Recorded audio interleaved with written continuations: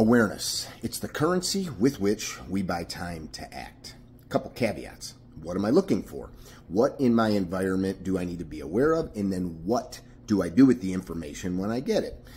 Case in point, before you step in traffic, aware of cars. What do I do with that information? Either cross the road or don't, right? Very basic stuff.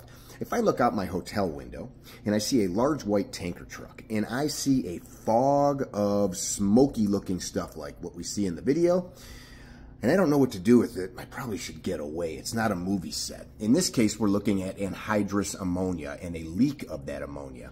Anhydrous is Greek for without water.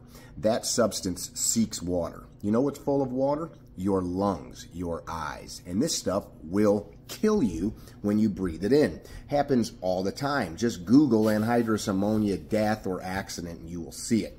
After a semi truck carrying nearly 8,000 gallons of toxic ammonia overturned, killing five people, including two children, and injuring several more. Yeah. How do you know? Well, in EMT, paramedic, first responder school, uh, people will learn about some of these chemicals. You know who else knows? Truckers. Go look up the placards. You see them on the back of semi trailers all the time, such as 1203 fuel.